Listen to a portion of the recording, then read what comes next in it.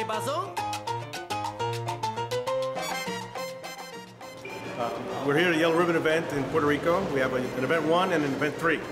And uh, there's multiple events in the Yellow Ribbon uh, to address specific issues and needs based on the time during, during, before, and after a mobilization or deployment of soldiers.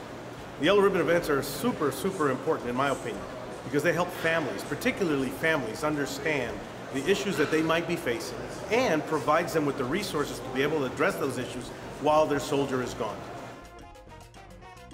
planificamos bien, ¿verdad?, qué es lo que va a suceder allá. Este, con eso utilizamos pues, la, la información que nos brinda el Yellow Ribbon. Eh, si tenemos que consultar a algún psicólogo, ¿verdad?, lo hacemos. Este, yo siempre estoy tratando de, que, de estar bien positiva, hablarle bien a mi esposo para que si yo estoy bien, él va a estar muy bien allá. El Yellow Ribbon me ayuda mucho en, mi estado mental. Este, es, un, es un gran sentido de apoyo para nosotros los, los, militares y especialmente nosotros que vamos a ser padres por primera vez y estamos tratando de formar una familia por primera vez en nuestras vidas, ¿verdad? porque somos jovencitos y pues queremos, queremos sacar el provecho, sacar una carrera de ejército y para mí es de gran apoyo y de inmensa ayuda esto que hacen los civiles con nosotros.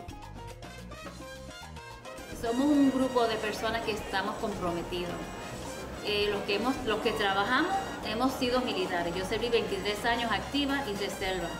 Soy hija de un militar que fue movilizado a Corea y el programa que hoy en día tenemos nosotros para nuestros soldados no existía en aquel entonces. Eh, y muchos, muchos, muchos hemos podido compartir y ver la, la gran diferencia que estos programas hoy en día están haciendo para nuestras familias y nuestros soldados. Así que de verdad le digo, si tienen alguna duda, alguna pregunta, por favor que nos llame.